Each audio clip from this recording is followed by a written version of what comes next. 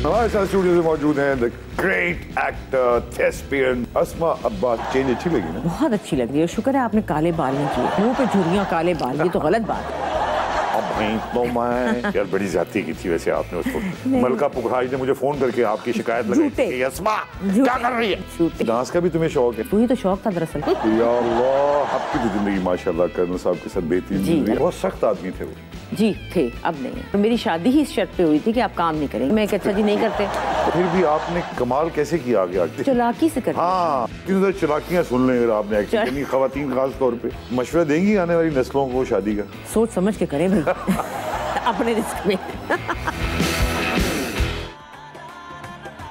ज़िंदगी विद साजिद हसन। देखिए हर जुमा रात नौ बजे। सिर्फ़ ए आर वाई ज़िंदगी पर